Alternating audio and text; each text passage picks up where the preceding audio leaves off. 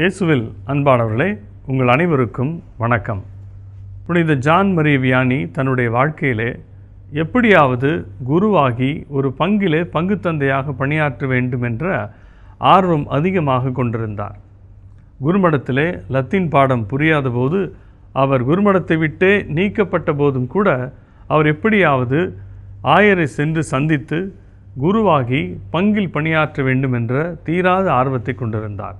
அவ்வாறே அவருடைய ஆயரும் அவரை ஏற்றுக்கொண்டு தனிப்பட்ட விதத்தில் அவரை தயாரித்து குருவாக்கி பங்கில் நியமித்தார். நான் குருமடத்தில் படிக்கின்ற போது நடந்த ஒரு நிகழ்வு. ஒரு முறை பேராசிரியரின் இடத்தில் கேட்டார் லூயிஸ் நீ என்னவாக விரும்புகிறாய்? நான் அவரிடத்தில் சொன்னேன் ஃபாதர் நான் பங்கு தந்தையாக ஆக விரும்புகிறேன் என்று.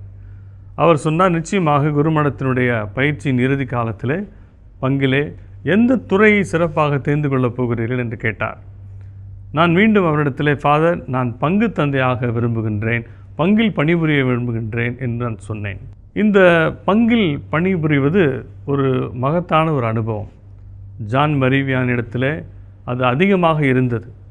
ஆன்மாக்களை கடவுளிடத்திலே கொண்டு வருகின்ற அந்த பணியை அவர் செய்தார்.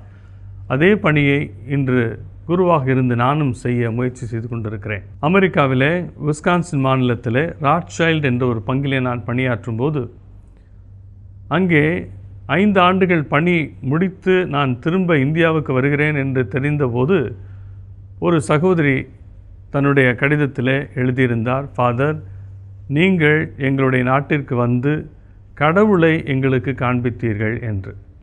அது என்னால் மறக்கவே முடியாத ஒரு ஒரு அனுபவம்.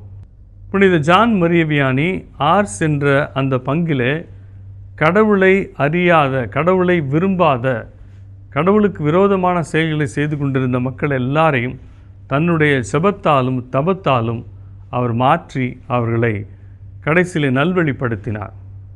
அதேபோல இன்றும் நிறைய பங்குகள் இந்தியாவில் இருக்கின்றன.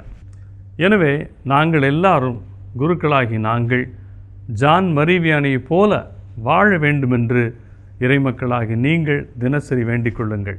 புனித ஜான் மரிவியானியை எங்களுக்காக வேண்டிக் கொள்ளும்.